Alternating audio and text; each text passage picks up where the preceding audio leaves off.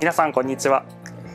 福岡県飯塚市の、えー、フラワーズステーション愛花の小畑克久と申します。今日は、えー、オリエンタルのユリを使ったアレンジメントの方を、えー、作らせていただきます。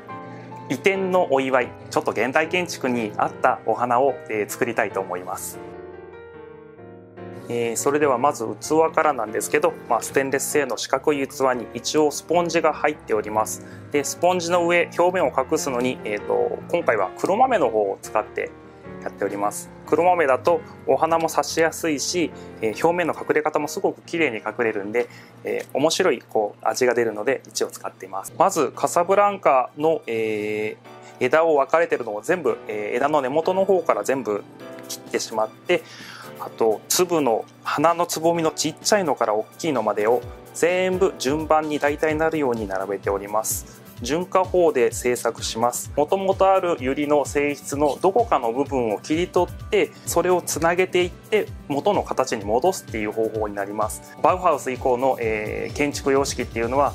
生活感のない家何かをこう取っ払って全ての機能を少しずつ削って削ってものを作ってるので削ったものの方がすごく印象的に合うと思うのでこういうお花を一応作ろうと思っております。ユリの産地の話はよくしますね。あの虹さんの特にお花はよく買ってるんでお客さんからこれどこのってやはり言われた時には、えー、よく答えることになりますね。ギフトとあとはお葬儀のお花が大体中心になって仕事をやってます。なので、えーと、ユリはやはり欠かせないお花のうちの一つですね。ギフトでもやはりあの主張性がやっぱ強いのであの主役を貼れるお花になるんで、えー、ユリがやはり大事なものになってきますね。葬儀の時でもやはり菊のイメージが結構強いかもしれないですけど中心にやはり来る花ってなるとやはりユリとかの大きな、えー、主張性の強いお花がどうしても必要になってきますんでユリがやはり中心に入ってくる形になります。お花のデザインってこうよく切り離して考えがちなんですけどやはりこう美術芸術って言われるあの芸術学部とかの、えー、項目とかによく当てはまるんですけど、えー、美術の基礎概論っていうのがやはり大事だと思うんでそこからやはりこう知識を得てそれをこう、うん、お花の方に生かしていくっていうことをよく考えますね。例えば今回使ってる純化なんですけどこれも一応純化の方法として、えー、継承純化法か、えー、非継承構成法かどちらかっていう普通は美術の考え方のどちらかを大体取るんですけどそちらのうちの、えーと、継承純化の方にあたりますね。生け花とかっていうのもやはり継承純化の部分がすごく強いと思います。そうですね。15本一応使ってますね。はい、だいたい56輪好きぐらいのものを15本で今制作しております。作るのはやっぱ楽しんでですね花屋さんの醍醐味ではありますよねなんかこう自分の手でなんか好きなものが作れるっていうかちっちゃな芸術家っていうかそういう楽しさがやはり他の職業にはやはりないんでですね楽しい部分ではありますね。継承順化とかをやってるとどうしても一番最終的に最後の形が大事になってくるんで最後の形をきちんとこのベースに今回合わせた四角に、え、持っていこうと思ってて四角っていうのは植物を扱うとどうしても最終的に丸い形が最終形になることが多いんですけど四角っていうのは表現しにくい形なんで逆に言ったら、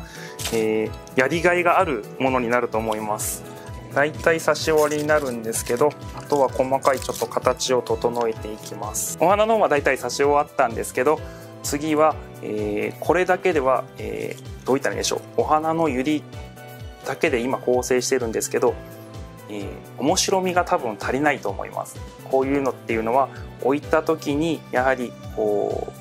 うインパクト感がどうしても必要になってきますので相対するものをどちらかといえばユリは今この状況で生命の力がいっぱい中に詰まっててだんだんこちらの方に流れてきて力がわっと出てくる感じなんですけどステンレスの冷たいこの器と無生物感を足すためにこういう枝を上に入れてみたいと思います。これだけですごく面白い効果が出ると思います。これはツツジンの枯れ枝になりますね。ツツジの枯れ枝に、えー、銀の、えー、スプレーをちょっと振ってありますね。下側がシルバーなので上側も少しシルバーが入ることによってサンドイッチ効果が生まれますねカレーだっていうこと以外にも、えー、上側は、えー、下側は形のあるものフォーム四角いっていう形があるもの上側はフィギュア、えー、形がない生命の、え、形もともとの自然の形っていうもので相反するものになってます。えー生と死それから色、えー、スチールの生物感あスチールの、えー、人工感と生物感、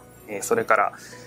色形えいろんなものに対して相反するものを少しエッセンスで加えることによって作品がもっと生き生きすることになると思います。よくある、えー、黒いテーブルの上にこういうのが1個だけポンと乗ってる印象で一応準備して作っております。これで一応完成になります。生活感のない家に植物を加えるっていうことっていうのはなかなか難しいことだと思います、えー、形にははまってるけど生命感がここに残る。そういう面白さを、えー、表しております。長いテーブルのカウンターテーブルの上に置いてもいいですしどこか壁面現代美術の下に置くとすごくはまるような形で一応準備させてもらってます。